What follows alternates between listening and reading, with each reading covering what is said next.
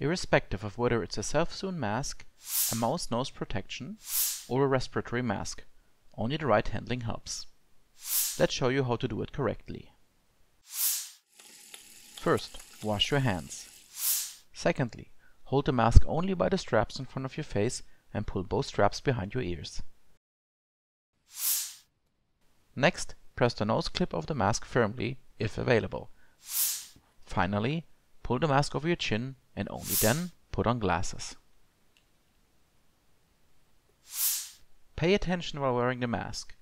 Don't touch the mask itself, only the straps. Never pull it under the chin and bring it back over your face later. Replace the mask after 3 to 4 hours or earlier if it becomes moisturized. Taking off the mask. Pull both straps forwards with your hands at the same time without breathing in. Dispose of the used mask immediately and do not leave it lying around. And finally, as always, wash your hands thoroughly with soap and running water. Stay healthy.